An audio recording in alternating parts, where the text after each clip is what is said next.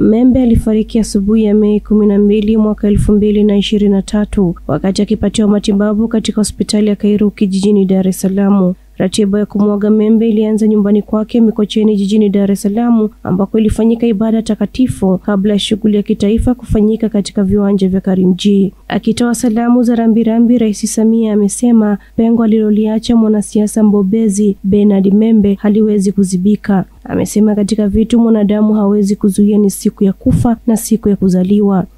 Rais Samia amesema binafsi alikuwa na Membe kwenye nyakati tofauti katika medali za siasa. Alikuwa mchapakazi. Kifo chake kimeacha pengo si tu kwa taifa lake, hata kwa mataifa aliyoyatumikia. Ndugu zangu, hakuna mtu anayependa kuondokewa na mpendwa wake, lakini Mwenyezi Mungu anachukua amana yake au waja wake kwa jinsi yeye inavyompendeza. Sote tunafahamu vitabu vitakatifu vinavyotuasa kwamba sisi sote ni waja wa Mwenyezi Mungu. Tumekuja duniani kwa ridhaa yake na tutaondoka kwa ridhaa yake.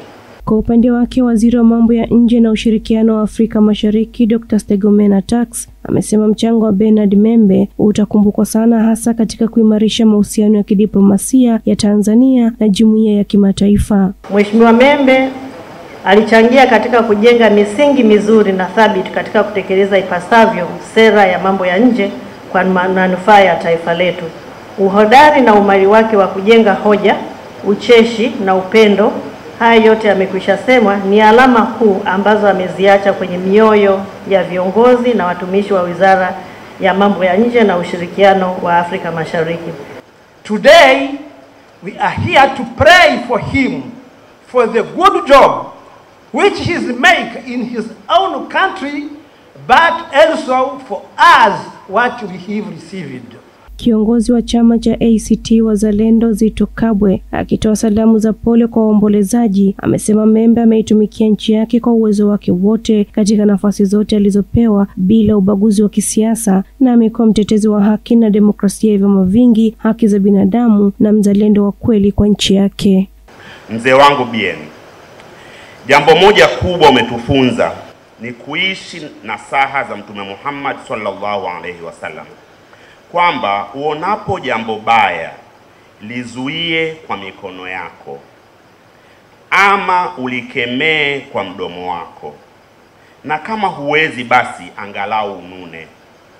Maisha yake ya utumishi na uongozi ndani ya chama na serikali yana mengi mazuri yanayomstahili sifa. Kipindi fulani nakumbuka mwaka elfu mbili na saba mpaka elfu mbili na kumi na mbili ndugu Bernard Membe alihudumu ndani ya sekretariat ya halmashauri kuu ya CCM ya taifa. Naye mbunge wa jimbo la Mtama mkoani Lindi Nape Nnauye amewakaribisha wote ambao wanaweza kufika kijijini Chiponda ili kuimalizia safari ya Bernard Membe hasa kwa kutambua mchango wake kwa taifa.